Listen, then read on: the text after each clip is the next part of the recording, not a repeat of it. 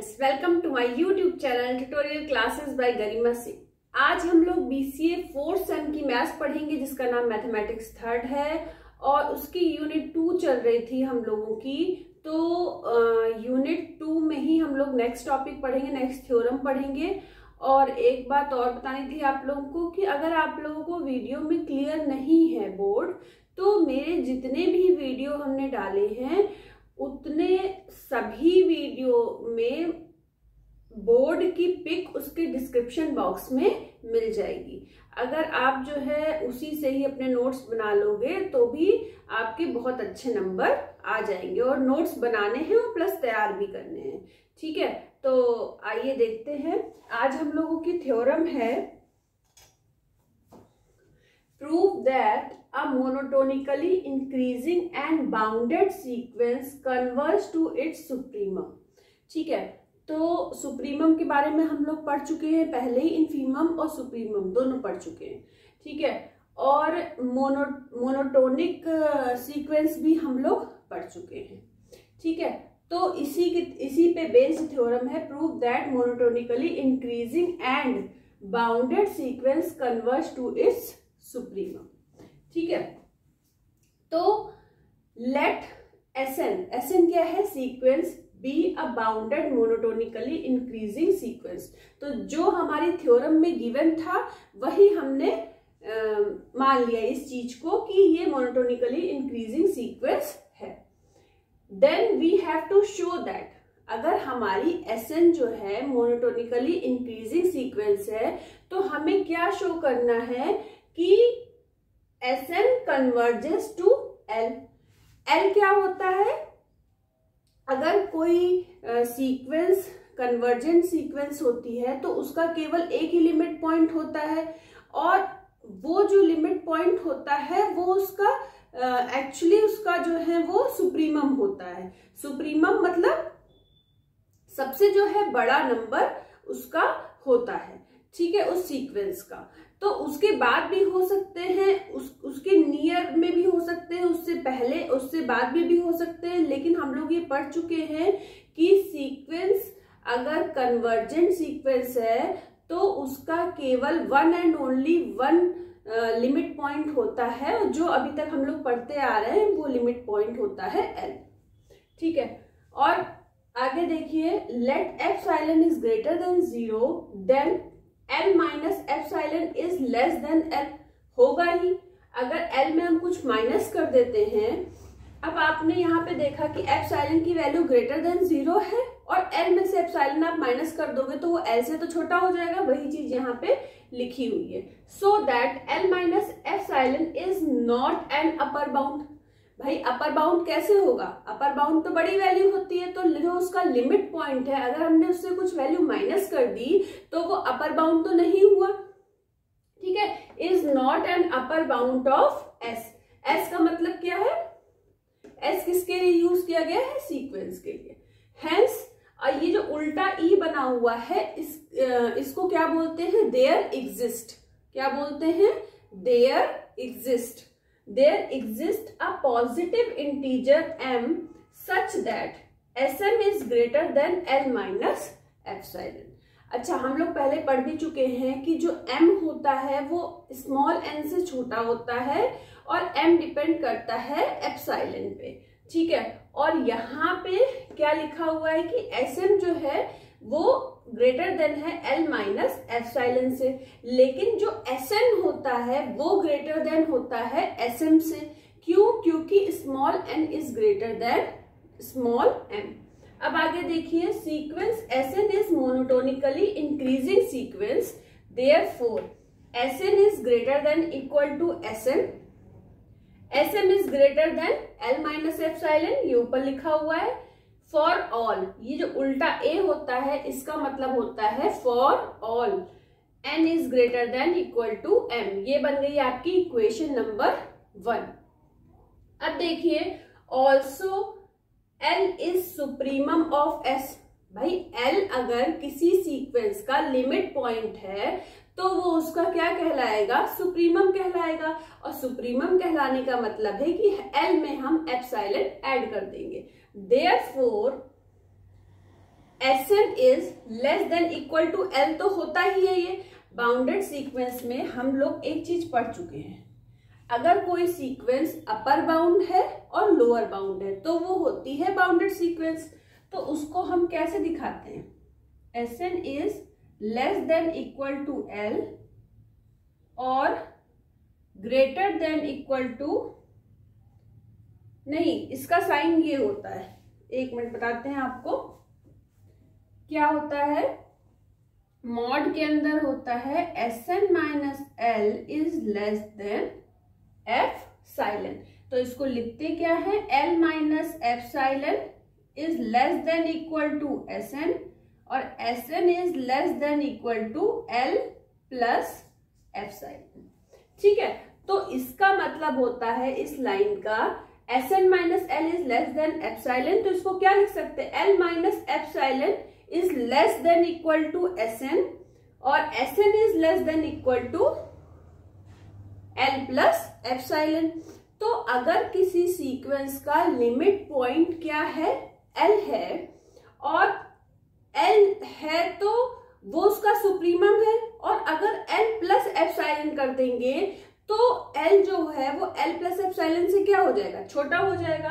तो यही लिखा हुआ है S N is less than equal to L क्योंकि L क्या होता है? किसी सीक्वेंस का लिमिट पॉइंट है या सुप्रीमम है, और ये L जो है, L प्लस एप्साइलन से छोटा होगा। For all N belongs to N N क्या है? कैपिटल एन नेचुरल नंबर के लिए यूज़ हुआ है। From equation one and two देखिए S N is greater than equal to क्या है? L minus F epsilon S N is less than equal to क्या है? एल प्लस एप्साइलन तो वही चीज़ फ्रॉम वन एंड टू हमने ये लिख दी है। अब इसको हम क्या लिख सकते हैं रिवर्स में? S N minus L mod के अंदर लेस देन एफ़ साइलेंट जो हमने यहाँ पे आपको बताया है। ये आपका कन्वर्जेंट सीक्वेंस का फॉर्मूला होता है। For all small N is greater than equal to M और या फिर हम इसको ऐसे लिख सकते हैं limit S N is equal to L तो ये हमारा प्रूफ हो गया। ठीक है? हमने ये भी, ये वाली हमारी कंडीशन थी बाउंडेड वाली। ये है लोअर बाउंड ये है अपर बाउंड तो अगर लोअर बाउंड अपर बाउंड किसी सीक्वेंस में है तो वो सीक्वेंस बाउंडेड सीक्वेंस कहलाती है। अब बाउंडेड सीक्वेंस के बाद हमने ये भी प्रूफ कर दिया कि ये सीक्वेंस क्या है? कन्वर्जेंट सीक्वेंस है। ठीक है? अब देखो इसमें प्रूफ क्या करना था? Proof that a monotonically increasing and bounded sequence converge to its supremum तो यही हमारा प्रूफ हो गया कि जो बाउंडेड सीक्वेंस होती है, वो कन्वर्ज कहा करती है? उसके सुप्रीमम पे। सुप्रीमम क्या था? एल एल क्या है उसका? लिमिट पॉइंट ठीक है? तो ये थ्योरम आपकी प्रूफ हो गई। अच्छा अब नेक्स्ट हेडिंग है लिमिट पॉइंट ऑफ़ सीक्वेंस अब लिमिट पॉइंट ऑफ़ सीक्वेंस क्या है? देखिए a real number P is said to be limit point of sequence Sn if every neighborhood of P contains infinite number of terms of the sequence. तो ये बोला गया है कि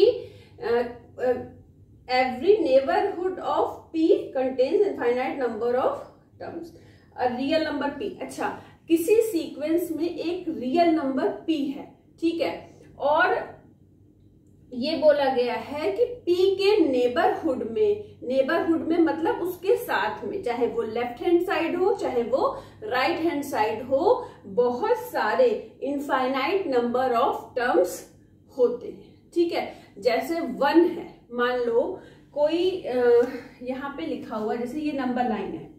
यहाँ पे हम लोगों ने पढ़ रखा है ज़ीरो है, ये वन है, और यहाँ पे माइनस वन है। तो ज़ीरो से माइनस वन के बीच में अब ज़ीरो के इधर भी इनफाइनाइट नंबर होंगे और ज़ीरो और वन के बीच में भी इनफाइनाइट नंबर होंगे। ठीक है? तो ये एक बात करी गई है। लेकिन क्या ज़ीरो जो है रियल नंबर में आता है? अगर ज़ीरो रियल नंबर में आता है, अब जैसे यहाँ पे तो हमने ये एग्ज़ाम्पल दे दिया। एक मिनट, हमारे पास आज डस्टर नहीं है। देखिए अब अगर ये देख लेते हैं हम पॉजिटिव उसमें। ये है हमारा वन ये है हमारा टू ये है हमारा थ्री ये है हमारा फोर तो वन से टू के बीच में बहुत सारे नंबर्स आएँगे टू से थ्री के बीच में बहुत सारे नंबर आएँगे। अच्छा टू के लेफ़्ट हैंड साइड पे भी बहुत सारे नंबर होंगे इनफाइनाइट नंबर और टू के राइट हैंड साइड पे भी इनफाइनाइट नंबर होंगे। तो मान ले अगर पी ये जो टू है, वो हमारा कोई रियल नंबर है और इस सीक्वेंस में टू के नेबरहुड में, टू का नेबरहुड कौन सा हुआ? वन भी हुआ, थ्री हुआ। Contains infinite number of terms तो यहाँ पे भी इनफाइनाइट नंबर ऑफ़ टर्म्स होंगे, इधर भी इनफाइनाइट नंबर ऑफ़ टर्म्स होंगे। ठीक है? अब देखिए इसका एग्ज़ाम्पल सीक्वेंस हमने फ़र्स्ट एग्ज़ाम्पल इसका देखिए सीक्वेंस वन अपॉन एन ले ली। ठीक है? Has only one limit point one upon n में अगर आप एन की जगह पुट करते जाओगे वन तो वन अपॉन वन वन होता है। फिर एन की जगह टू पुट करोगे तो one upon two three put करोगे one upon three one upon four one upon five one upon six one upon hundred one upon thousand ठीक है ten thousand one upon ten thousand one upon one lakhs इस तरीके से बढ़ता जाएगा। ठीक है तो कोई ना कोई पॉइंट ऐसा आएगा कि वो ज़ीरो के बहुत ही नज़दीक पहुँच जाएगा। ठीक है तो इसका जो लिमिट पॉइंट क्या होगा? टेंस टू ज़ीरो मतलब एग्जैक्टली exactly, एक्चुअली हमने यहाँ पे लिख तो दिया है कि has only one limit point that is zero पर एग्जैक्टली exactly ज़ीरो नहीं हो सकता। क्यों नहीं हो सकता? क्योंकि एन की जो एन है हमारा वो नेचुरल नंबर है। नेचुरल नंबर इनफाइनाइट नहीं होते हैं। तो फिर अगर इनफाइनाइट नहीं होते हैं तो उसको सॉल्व करने पे आपको पता है कि one upon infinity is equal to होता है ज़ीरो लेकिन जब वन अपॉन एन की बात की गई एन हमारे नेचुरल नंबर्स हैं। नेचुरल नंबर्स अगर इनफाइनाइट नहीं है, कितने हैं, हमको नहीं पता। ठीक है? उसकी हम काउंटिंग ये नहीं बोल सकते कि इनफाइनाइट है। उसकी काउंटिंग हम नहीं कर पा रहे हैं। तो जनरली जिस चीज़ को हम काउंट नहीं कर पाते हैं तो उसको हम क्या बोल देते हैं? इनफाइनाइट ठीक है? तो वो टेंस टू ज़ीरो हो जाएगा। One upon n has only one limit point that is zero ठीक है, क्योंकि कभी कोई नंबर ऐसा होगा ही नहीं जिस मतलब आता जाएगा आता जाएगा आता जाएगा आता जाएगा। एन की कुछ ना कुछ वैल्यू हम रखते जाएँगे और हमें आंसर मिलता चला जाएगा। ठीक है, अब देखिए एन है। एन क्या है? एक सीक्वेंस है। हैज़ नो लिमिट पॉइंट अब एन की जगह एन अगर नेचुरल नंबर्स है तो अगर यहाँ पे आप जो है एन की जगह one, two, three, four, five, six, seven, eight, nine, ten रखते चले गए तो क्या मिल रहा है? कोई इसका लिमिट पॉइंट है फिक्स? कोई लिमिट पॉइंट नहीं। यहाँ ऊपर वन अपॉन एन में तो हम बोल भी रहे थे कि ये ज़ीरो इसका लिमिट पॉइंट है। एक्चुअली टेंस टू ज़ीरो होता है। ज़ीरो की ओर अग्रसर। ठीक है? लेकिन इसमें तो इसका कोई लिमिट पॉइंट ही नहीं एन की जितनी वैल्यू हम रखते जाएँगे, आती चली जाएगी, आती चली जाएगी सीक्वेंस कभी फिनिश ही नहीं होगी। ठीक है, अब ये माइनस वन की पावर एन है। थर्ड एग्ज़ाम्पल सीक्वेंस का हैज़ अगर हम यहाँ पे माइनस वन की पावर वन रखते हैं तो माइनस वन मिलता है। माइनस वन की पावर टू रखते हैं तो वन मिलता है। मतलब अगर हम n is equal to one three five seven eight ये रखते हैं तो हमें माइनस वन मिलता है। और अगर हम एन की power two four six eight ten ये रखते हैं तो हमें प्लस वन मिलता है। तो हमने यहाँ पे लिख दिया has one and minus one as a limit point ठीक है? और इसके नेबरहुड में बहुत सारे पॉइंट होंगे। वन के नेबरहुड में भी बहुत सारे पॉइंट होंगे। माइनस वन के भी नेबरहुड में बहुत सारे इनफाइनाइट पॉइंट्स आपको मिलेंगे। जिनको आप काउंट नहीं कर सकते। ठीक है? तो आज के लिए इतना ही। नेक्स्ट क्लास में हम आ, इसके आगे की थ्योरम पढ़ेंगे या उससे रिलेटेड क्वेश्चन भी लगा सकते हैं। All the best to all of you thank you